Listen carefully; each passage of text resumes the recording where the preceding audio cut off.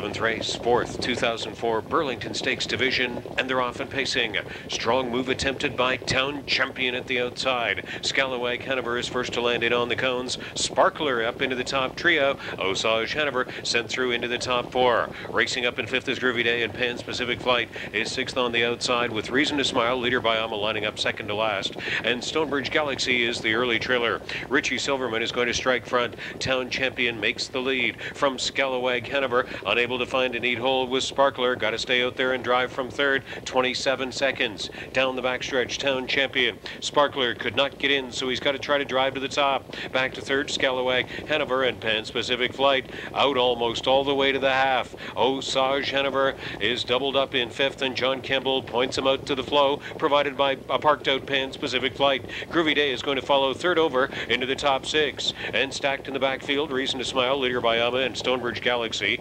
55 and 2, battling on the front end. Uh, taking the lead after a long park out with Sparkler, and Pan's Pacific Flight is still out there. Town Champion back to third on the inside, and Osage Hanover in the optimum second over spot behind a big front end battle. Groovy Day not far away in there from fifth. Moving sixth on the inside, coming over to the top of the stretch. That is Reason to Smile, and the last pair to turn from will be Leader by Alma and Stonebridge Galaxy.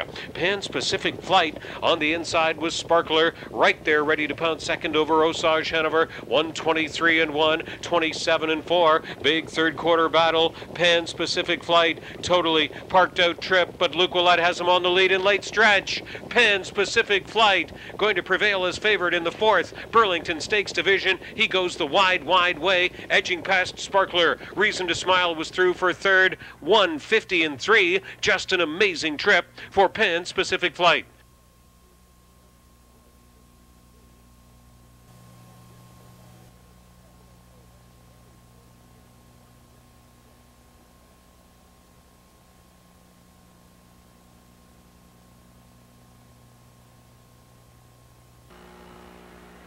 Number nine, Pan's Pacific Flight was back as the 11th race winner from Mohawk in the fourth Burlington Stakes Division.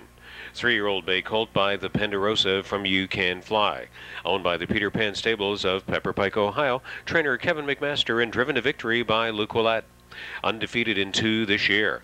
150 and 3. That's a life's mark performance for Pan's Pacific Flight in the 11th. The, the way he did it, very impressive, parked every step.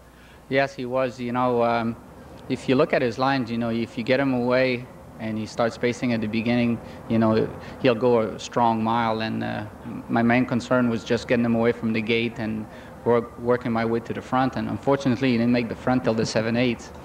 Uh, looking ahead to next weekend at Woodbine, uh, do you have an inkling as to how you think he'll be on that track? I think he'll be fine. He's a big, strong colt, and uh, he's learning some every week. And uh, he showed some break at the gate, but uh, we schooled him and we've raced, raced in the last couple of weeks, and he's been really good. So that's our main concern there, and uh, he's been good. So I'm pretty happy with that. Do you think he's uh, maybe one of the top four or five contenders going in? Well, I, I don't want to jinx him, but uh, let's put it this way: he was parked, and I know I was going to par- be parked the whole mile at the three eights, and uh, I wasn't too nervous about it. All right. Good luck with him next week. Thank you very much. Luc Ouellette, the winning driver, and uh, Kevin Master with me as well, winning conditioner. Kevin, uh, we're very used to seeing you uh, near the top of the standings in the claiming game for sure on this circuit. Now, uh, with some nice uh, stakes colt in your barn, and uh, next weekend, looking forward to your first North America Cup eliminations.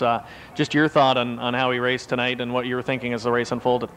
Oh, I was very pleased with him. Uh, like I this, he's a tough horse. He's a very strong horse. I wasn't too concerned when I seen him park because I know, I know he'd keep fighting, and because uh, he he does he does have a lot of talent. This horse. You have a nice one-two combination. Uh, the Preacher Pan earlier tonight, a little bit disappointing in how the race worked out for him. Um, just just your assessment of how he did perform tonight. Yeah, I think he come last quarter in 26 and 3, 54 and 3 last half. Uh, he just didn't didn't get in the race. That's all. Um, he, he raced well. And uh, we definitely, um, barring uh, any unforeseen circumstances, will see both of them next weekend. Oh yeah, for sure. Yes. All right. And uh, personally, uh, it must be exciting to to have a couple of horses in for this kind of a race. Oh, for sure. This is a big race, and that's quite an honor to be in it for sure. All right. Good luck next weekend. Thanks. Great. Kevin McMaster, the winning conditioner, Pan's Pacific Flight 150 and 3, wrapping up Burlington action tonight. We'll take another look at the replay. Frank Salive will be by with a look ahead to race 12.